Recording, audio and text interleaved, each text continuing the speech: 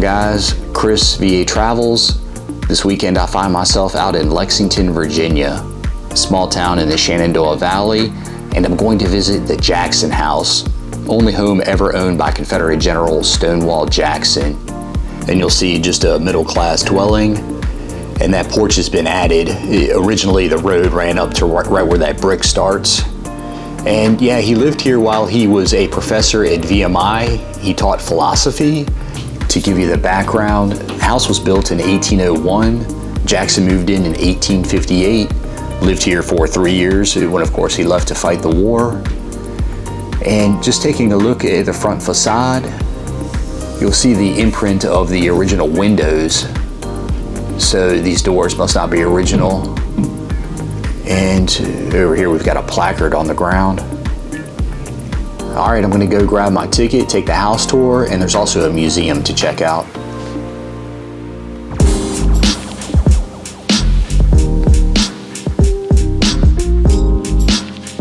And they give you a brochure when you check in with a QR code uh, with a little information on each of the rooms and the garden out back. And Thomas was a pretty avid gardener. They say he liked to spend a lot of time out here. And yeah, middle of December, a little cabbage back there. It's not looking at its best at the moment.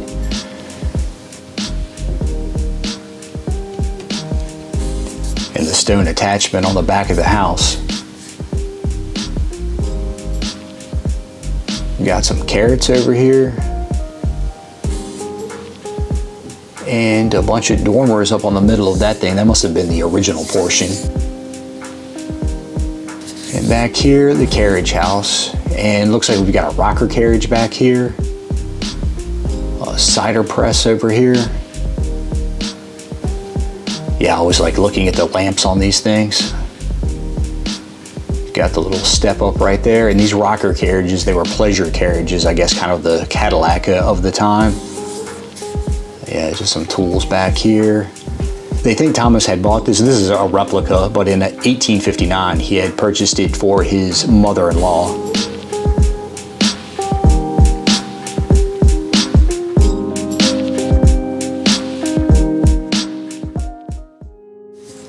Okay, first stop, the kitchen. And uh, iron stove back here. Looks like they've got that hearth plugged up. And cooking some bread, it looks like, and maybe some dessert right there. I see the iron back there, tea kettle. Got some smoked meat, some canned goods back here.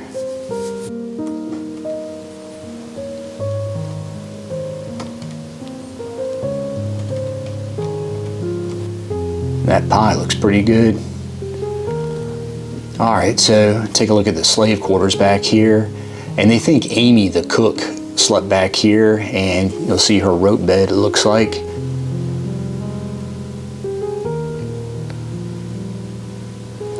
See a trundle bed down here so I guess maybe a child slept back here. And yeah, it looks like somebody slept on a mat down there. And the male slaves, they think, eh, lived at, in a building behind the house. Eh, altogether, six slaves Stonewall Jackson owned. And here's a trunk of his, and I know they had some goods imported from their trips up north.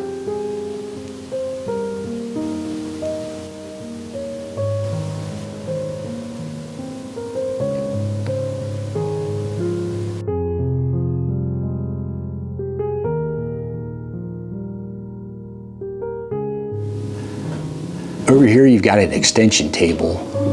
This thing was pretty unique. You'll see down below some levelers. You would turn those knobs to balance out the table. And you've got your silver. This over, over here is original. And Stonewall was a very disciplined, punctual man. He would wake up at 6 a.m. every morning, go for a walk, say his morning prayers, take a cold bath, and then coming here for family prayer and breakfast. Over here, the good book, uh, open to the book of Corinthians. It's the last thing he and his wife had read before taking off for Richmond in April of 1861. And his silver with his initials chiseled on the handle there. We're now in the bedroom. And this bed used to be on the third floor in a guest room. It's stuffed with horsehair. You'll see there used to be a canopy on top. And check out the turnings on these rails. Something unique over here, the stretcher, this arm, it spins. You wrap a quilt around it, and when you got cold at night, you pull it on top of yourself.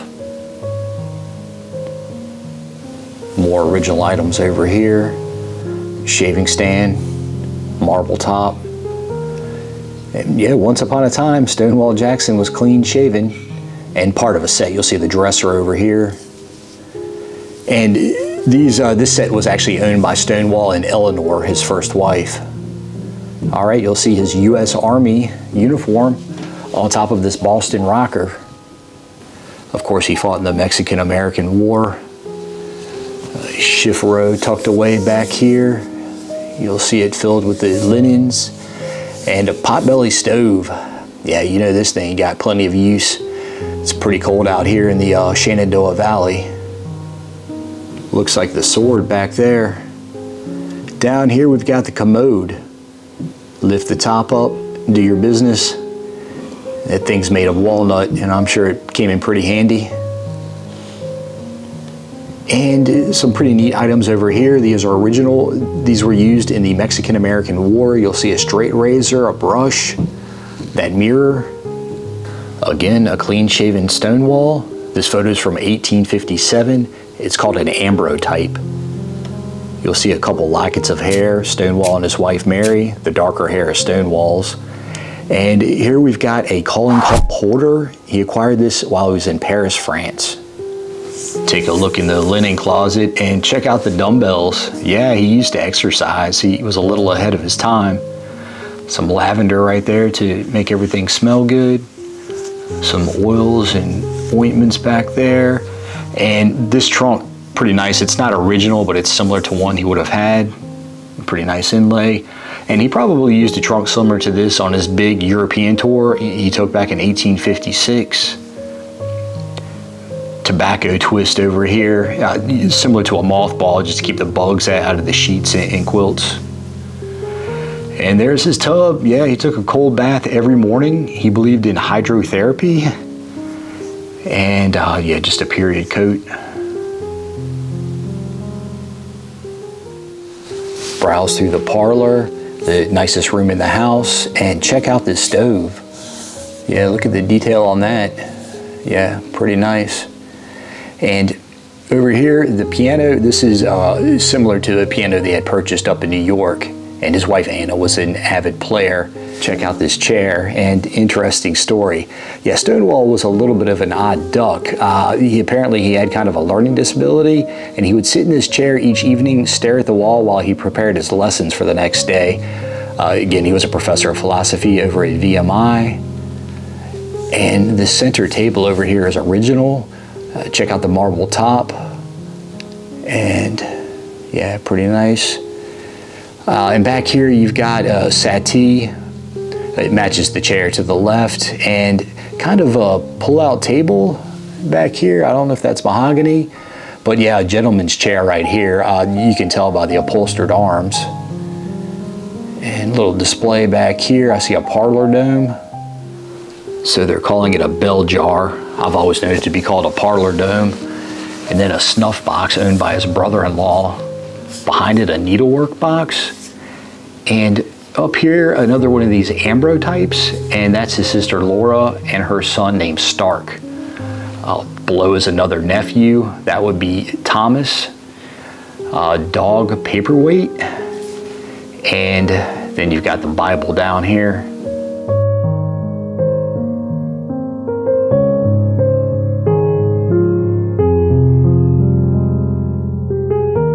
More items over here. And here's a portable cloth filing cabinet where he kept his letters when he traveled. And check out this stamp. Looks like he's got a letter seal classroom key over at VMI and an inkwell he picked up when he was overseas uh, over in England. Back here we've got his tall boy standing desk and like I say, he was uh, kind of ahead of his time. He liked to stand while he worked.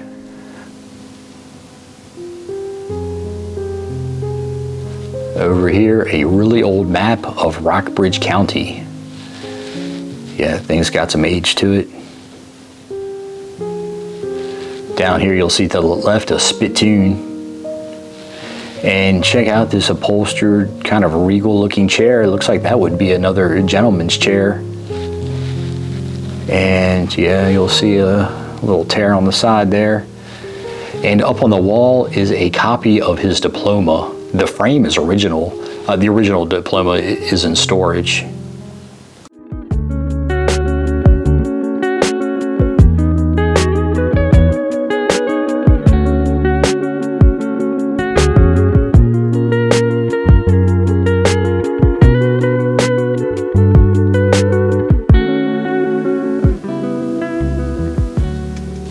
Made it into the museum and some pretty neat items back here.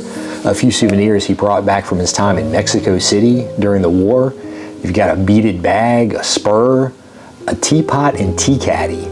And down here you've got the first known picture of Stonewall Jackson. It's from his graduation in 1846, and this is a tintype that was created in 1855.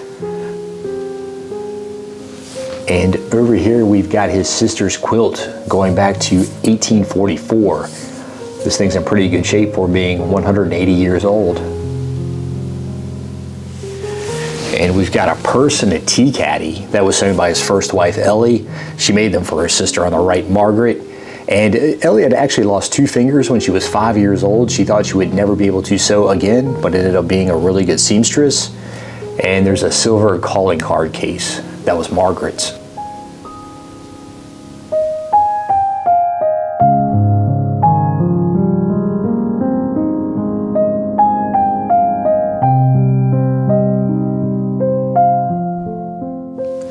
Pretty interesting. This is an astrology book from Jackson's physics class circa 1856. And it looks like something you could still use today.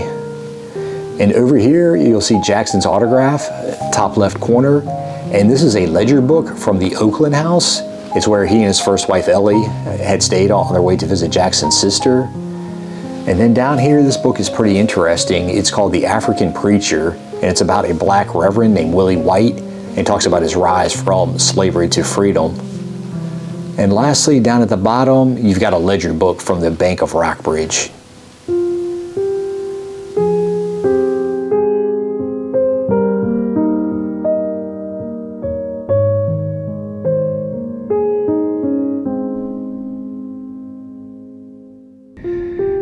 Here, a little information on the six slaves that he owned. Uh, unfortunately, not too much information. And you'll see in 1860, Lexington was about one third black. And yeah, you've kind of got that awkward statement where he treated his slaves good, although you can never really say he treated somebody good if they're a slave, but he was popular in the African American community. Uh, he really pushed for their education so they could learn scripture, and he started the Colored Sabbath School in 1855. 80 to 100 students worship there. And here is Hetty right here, his childhood nurse. And this is her photo from 1904. And a cook named Amy. And over here is a cookbook with uh, some of Amy's recipes, her recipe for buckwheat cakes. And this is a, Anna's journal. And some key tags over here from the Rock, Rockbridge Alum Springs. Bible. Over here, a model of the packet boat Marshall at the Lexington Landing uh, on the Maury River, 1867. See a little picture back there, and a couple of items, a bell and a rope off of the boat. And over here, part of the telegraph that was cut so the Union Army couldn't relay that Stonewall Jackson had been injured at Chancellorsville. And a scalpel that was used to cut off his arm that evening of May 2nd into the morning of May 3rd. His arm was amputated and just talking about how May 11th his body was taken to Richmond to lay in state. All right, that's it for the Jackson house. And uh, unfortunately, I've been rained out. And I was going to visit Oak Hill Cemetery where he's buried. And I don't mind a little rain, but it's coming down pretty good and it's about 48 degrees out there. So yeah, I'm not trying to catch my death, but I stopped by the visitor center and uh, yeah, I found this walking tour and yeah, a lot to see out here. I'm, I'm definitely going to be coming back. And uh, yeah, there's a VMI museum. There's University Chapel where Robert E. Lee is buried. And uh, of course the uh, Oak Hill Cemetery. So hopefully you'll be seeing some of that in the future. Yeah, guys, as always, like and subscribe. You can follow me on Instagram and support me on Patreon. See ya.